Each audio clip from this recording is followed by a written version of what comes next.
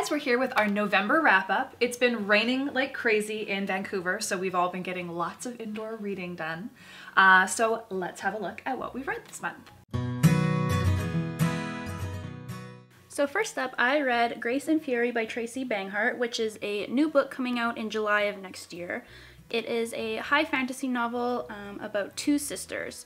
First, we have Serena, who's the older of the two, and she's been trained her entire life to become a Grace. And what a Grace is, is essentially a woman that the heir to the throne has chosen to stand beside him and kind of lead as an example of what a perfect woman is. And then her younger sister, Nomi, who's really rebellious and headstrong, she's been trained her whole life to be her sister's handmaiden.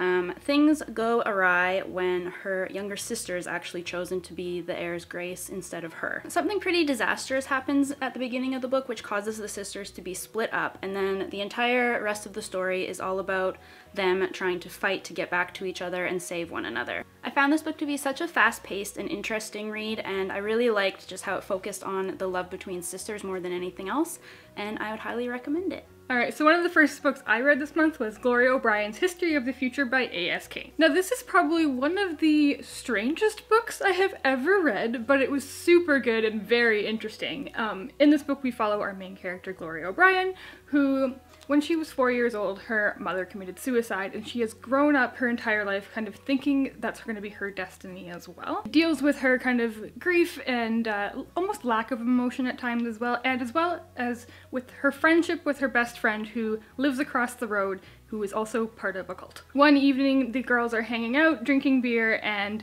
they find a petrified bat, which, yep, sounds pretty weird, and they decide that they're going to add it to the beer they're drinking, and they basically consume a powdered and petrified bat.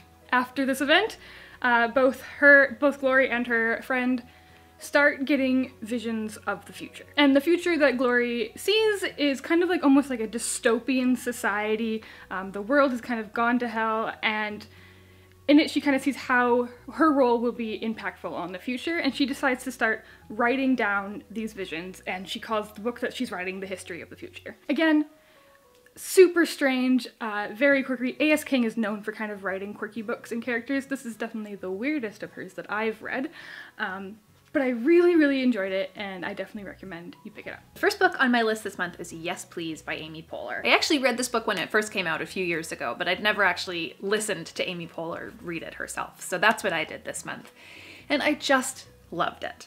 Uh, as I mentioned in the beginning of the video, it's been raining a lot in Vancouver and it's always just the kind of the time of year where it's easy to get a little bit gloomy. So having this really funny, whip smart woman in my ear was just such a treat and uh, I loved every second of it. She's, she's so funny, she's so caring and warm and uh, I've been obsessed with her since I was a teenager. So I will for sure be listening to it again, and I recommend that you do as well. Another book that I absolutely loved this month was Long Way Down by Jason Reynolds. This is a really unique story. It's told in verse, and the whole story takes place within 60 seconds in an elevator ride. And I don't really want to say much more than that um, because I think it's important to go into this book kind of blind and just let the story unfold itself to you as you read it. It's a very quick read and it's really heartfelt as well. So if you haven't read it yet, I definitely recommend it and I can't wait to pick up more by Jason Reynolds. Next I have If I Was Your Girl by Meredith Russo. Uh, now this book came out last year and it was getting all sorts of buzz around booktube and I finally went and picked it up and I totally understand the hype behind this book. This is a wonderfully poignant contemporary novel all about a transitioned trans girl who goes to a new school. Plot itself is pretty simple and lovely and um, it really, her story really resonates throughout this. You get to see a lot of flashbacks to see how Amanda ended up where she is today.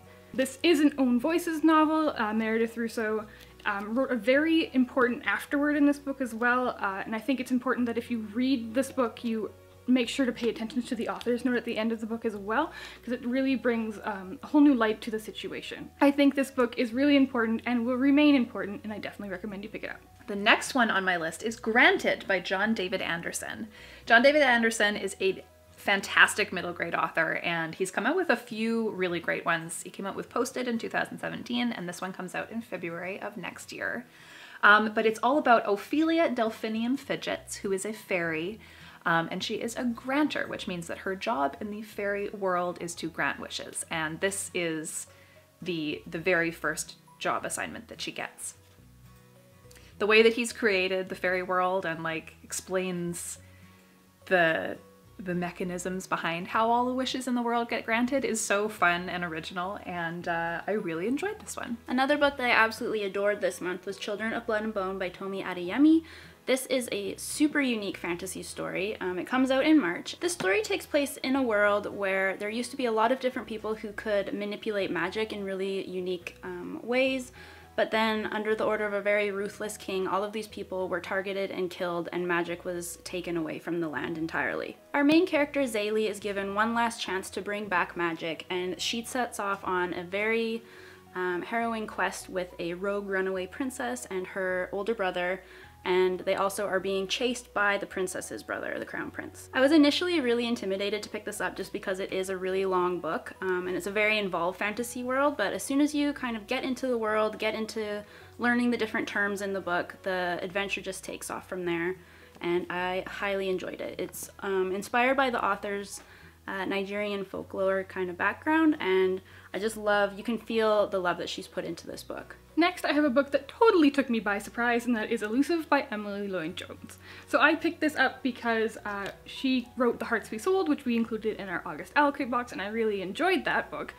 So when, but when I picked this up, this book is very different than that, but so much fun. So this book takes place in a world in which a virus was plaguing humanity, and the vaccine that they made to cure this has side effects that gave some of the population superpowers. So this plague has been cured, um, but the superpower, but because these people were getting superpowers, the inventor of the vaccine decided he was going to destroy it completely, and so there's no trace of it left. The government has also deemed these new people, um, they either need to work for the government or be deemed a traitor, and we follow a teenage girl in this book named Ciere, who has, who is an elusive, who can camouflage herself, who kind of works in a crime syndicate to avoid the government. This book is super fast-paced and really fun. It's obviously quite serious in a lot of the things they're doing, um, but the way that it's written is very lighthearted and the characters have a lot of witty banter and I just really love um, stories about teens with superpowers in any way. Um, so this book really spoke to me. It was very good and I think it deserves more buzz.